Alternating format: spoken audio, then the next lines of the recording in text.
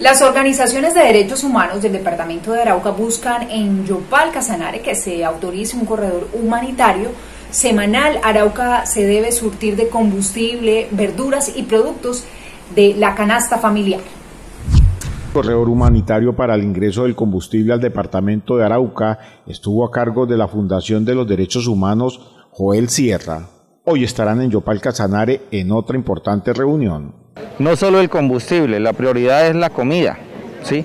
las verduras, pero a su vez vimos la necesidad de activar que entrara eh, combustibles, porque pues el 70% de la infraestructura o el andamiaje del departamento de Arauca se mueve por combustible. Entonces, al no haber combustible, muchas empresas, muchos vehículos, muchas situaciones se iban a parar. Entonces, la idea no es afectar o que no se afecte la dinámica normal de la comunidad de la gentecita de a pie. Según Jesse Robles, vocero de la JOL Sierra, se concertó con varias organizaciones defensoras de derechos humanos en el departamento de Arauca.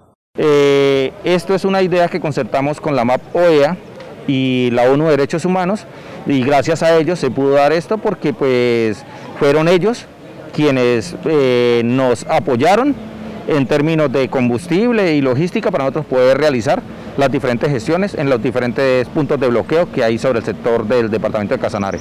Las fundaciones de derechos humanos se reunirán hoy o mañana en el municipio Yopal, capital del departamento de Casanare, para habilitar otro corredor humanitario. La idea es que el día de mañana se haga una reunión en Pore Casanare con las diferentes autoridades del departamento de Casanare con acompañamiento de las autoridades de acá del departamento de Arauca y poder abrir este cordón o corredor humanitario para que ingrese no solo combustible sino también alimentos y todo lo que tenga que ingresar al departamento de Arauca. Se espera que se llegue a un acuerdo en el departamento de Casanare para que autorice otro corredor humanitario antes del fin de semana. Fundaciones de derechos humanos fueron las que lograron el corredor humanitario para que ingresara el combustible. En Yopal Casanare se adelanta una nueva reunión con los manifestantes. Otra de las fundaciones de derechos humanos que se vinculó a este corredor humanitario para que ingrese el combustible a Arauca fue el Comité por la Defensa de los Derechos Humanos capítulo Arauca. Este, este trabajo se empezó a realizar desde el día viernes, eh, como lo decía el compañero, con acompañamiento de la ONU, Derechos Humanos y de la MAOEA. El día sábado nosotros nos desplazamos, eh, la Fundación Hall Sierra, el Comité Permanente, nos desplazamos hacia el departamento de Arauca, donde tuvimos eh, tres encuentros el primero se realizó en el municipio de Tocorozal con los camioneros, el segundo se realizó en Paz de Ariporo con camioneros y estudiantes que son los que están haciendo la acción de hecho en este sector y por último en el municipio de Pore que también habían estudiantes y camioneros. Las fundaciones defensoras de derechos humanos dieron a conocer que el primer tema que se trató fue los productos de la canasta familiar con los organizadores del paro. En, primer lugar nosotros cuando estuvimos en diálogo con estas comunidades eh, eh, se trató de que, de que no hubiera dificultad con lo prioritario, con lo de la salud, con lo de medicamentos, eh, cosas esenciales, enfermos. se trató, se hizo el primer acercamiento para lo, para lo de esta oportunidad. El día domingo autorizaron la entrada de alimentos, pero no se había autorizado la entrada de combustible, en lo cual nuevamente nos volvimos a comunicar con ellos. anoche se comunicaron conmigo a las 9 de la noche eh, diciéndome que habían llegado las tractomulas y que ellos no le iban a dejar pasar. Se hizo la gestión, se logró que pasaran estas acciones por parte de las comunidades.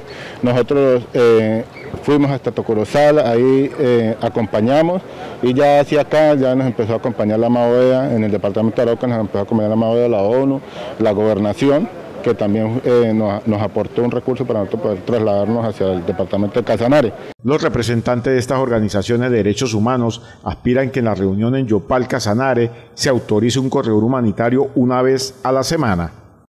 La idea de mañana es ir a hablar con ellos para que el corredor humanitario siga por lo menos una vez a la semana eh, el ingreso de alimentos y el ingreso de combustible.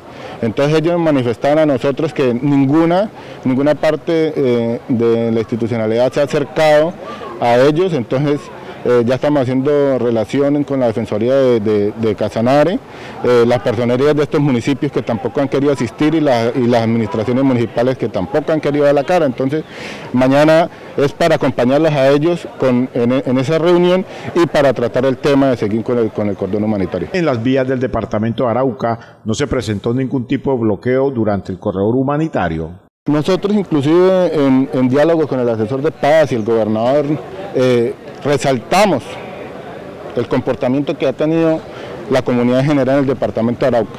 Aquí se han hecho manifestaciones, pero manifestaciones en solidaridad y resistencia por, nuestro país, por Colombia. Y nosotros como defensores de derechos humanos los hemos acompañado y hasta el momento no ha surgido ninguna alteración del orden público en nuestro departamento, que siempre nos sacan por cosas malas y que nosotros pedimos que, a nivel nacional se nos reconozca también las cosas buenas eh, de nuestra comunidad. Ahora hay que esperar que arroja la reunión en la capital del departamento de Casanare si se autoriza una vez a la semana un corredor humanitario.